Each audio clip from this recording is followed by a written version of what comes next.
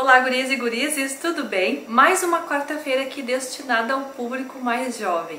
Hoje eu quero falar um pouco sobre a importância de hidratar a pele. Geralmente, quando a gente fala hidratar a pele, nos remete em hidratar uma pele seca ou uma pele normal ou até mista e geralmente a pele oleosa fica distante dessa hidratação. Mas repor a água da pele é importante para qualquer tipo de pele. Respeitando sempre o seu tipo de pele e aplicar produtos específicos para o teu tipo de pele. Uma pele que está em falta de hidratação, com o tempo ela se torna uma pele mais grosseira, uma pele com um pH desregulado, ela fica muito mais propícia a absorver a poluição e bactérias e aí começa a se formar algumas bolinhas vermelhas, ou então os produtos que tu usa na tua rotina diária, seja sabonete, seja tônico, enfim. Esses produtos acabam que não fazem o papel deles como deveria, porque a pele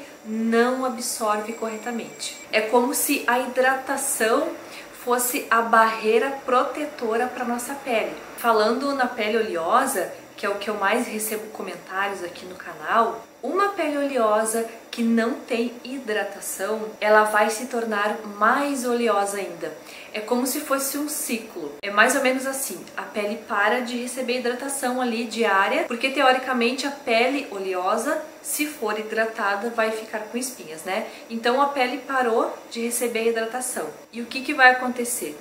As glândulas que produzem o sebo, elas vão produzir ainda mais para repor aquela falta de hidratação da pele. E é nesse momento que a pele começa a ficar desregulada, porque aumenta a produção de sebo, cai a hidratação, desregula o pH da pele e aí a nossa rotina diária, mesmo sendo corretinha para o nosso tipo de pele, não vai ajudar. Por isso que eu falei, né, que é como um ciclo, uma coisa depende da outra. O fato é que independente do tipo de pele, a hidratação é a melhor opção. Na verdade, a hidratação ela tá ali na base do início dos cuidados com a pele, que seria limpeza, tonificação e hidratação.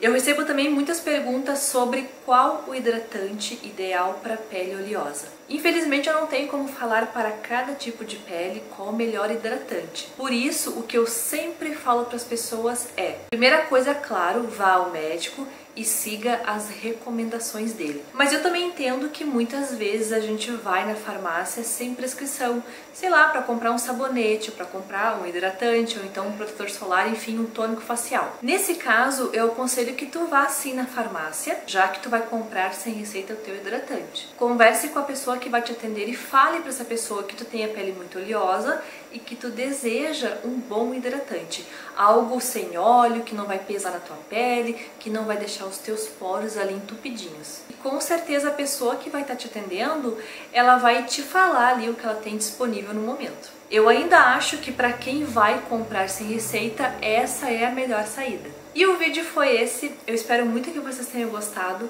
Muito obrigada pela companhia. Um beijo e até quarta-feira que vem.